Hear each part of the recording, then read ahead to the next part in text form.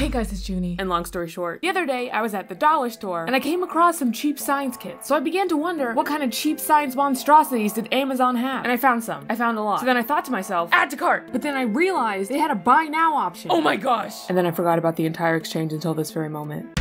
Hey guys, it's Junie and welcome to the Juniversity. I bought a science kit. So since I filmed that introduction, I actually went to sleep, woke up, forgot about it, and then a couple days later, this came in the mail. So I guess that I committed myself to doing this video whether I liked it or not. Thanks, Junie.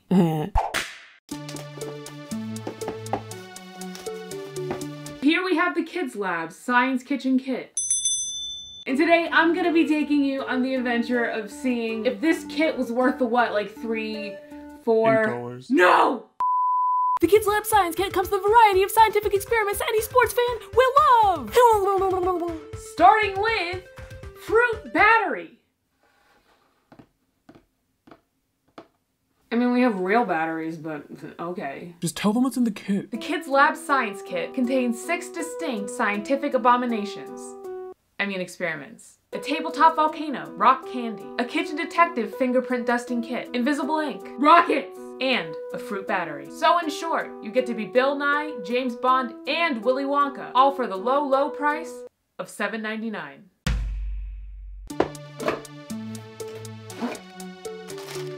You know, I was actually really excited to do the unboxing. Why was that? I mean, because we finally get to see where our tax dollars are going. So here we have the contents of our scientific mystery box. And some things that I'm noticing, you know, maybe I'm judging this a little bit too soon, but all this is looking a little bit $8. So here we have a volcano, which is like, you know, it's the baking soda, it's the vinegar, it's the science fair. And honestly, if this doesn't work out, I'm not that disappointed because I can just turn this into a pimp cup. And then we move on to our rocket. I'm sorry, the rocket. And you know what? If this doesn't work out, that's fine because I can just use Cause I can just use.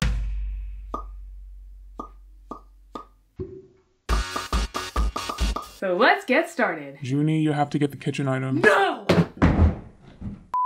Dishwashing liquid, lemon juice, this baking soda from 2013, cornstarch, red food dye, vinegar, paper towel. Not because they asked for them, just because I know that this entire process is gonna be disgusting. Okay, so the first thing that we're gonna be doing is the fingerprint analysis, which honestly, I'm doing this one first because it just, it's boring.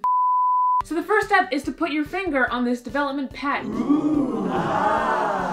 Hey guys, it's Junie Great Kitchen Science, and I was in the middle of doing the fingerprint science lab thing, and just I realized that I don't care about any of this. I mean, isn't this like a safety hazard anyway? Like, shouldn't I not be showing my fingerprints online? So basically, I decided to stop doing it. And you know what? This isn't just like me being lazy, just not wanting to do it. Like, there were actual reasons that I couldn't continue. I accidentally cut everything in half. I mean, and just like it slipped. The scissors, I just had the scissors in my hand and then they just slipped. I can't even, I can't even do it anymore. Wait a second.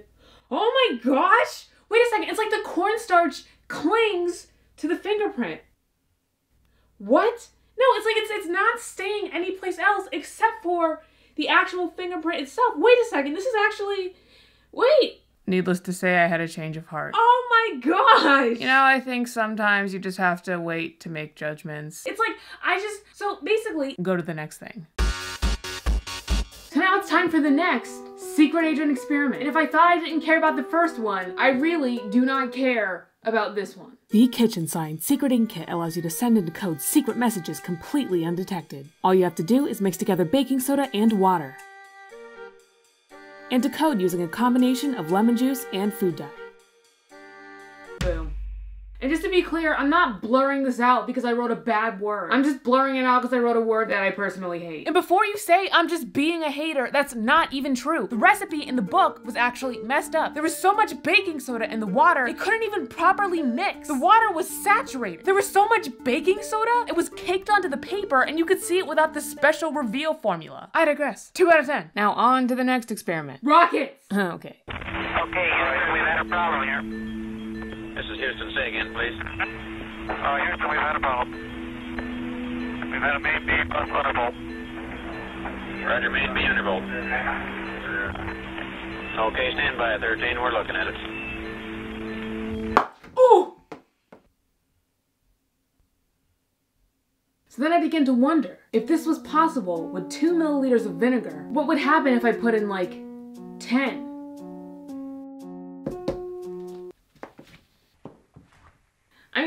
to say. Like, I guess that the door just doesn't, you know, open in that direction. So next we're gonna be doing the clock thing. And honestly, it seems like it's a pretty straightforward experiment. It is. I did it. I mean, like, I don't think I can mess this one up. I mean, you literally can't. I even used lemon juice instead of actual lemons. I don't get it. Are you mad at the lemon clock? No, I'm not. It's just that there's no discovery. You see the lemon clock on the box, you set it up, and it works just like on the box. So you aren't just trying to speed through so you can get to the Candy! volcano? Ah!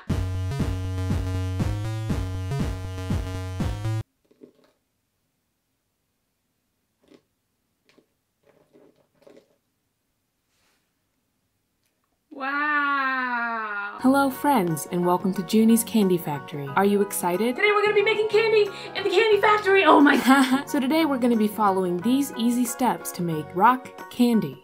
The first step is to prepare your skewer by soaking it in hot water and coating it in a thin layer of sugar. But be careful, hot water's involved.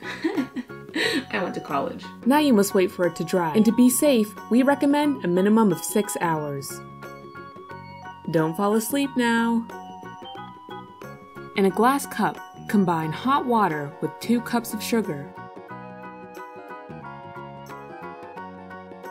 You must let the solution sit for an additional 6 hours. Finally, place the skewer in the glass jar so it's not touching the bottom or the sides. You should see the sugar crystals forming on the skewer after about a day. Finally, you can remove the candy and enjoy.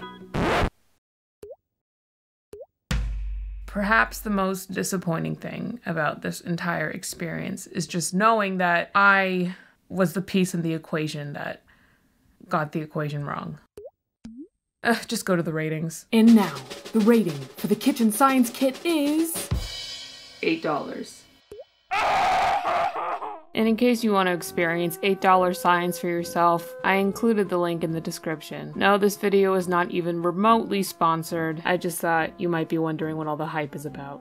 And before I go, I'd also like to thank my patrons. You know, patrons, sometimes it may feel like we're at the bottom of a hill, but you have to remember, hills are just nature, and they can't hurt us if we stick together. Thanks for sticking with me, patrons.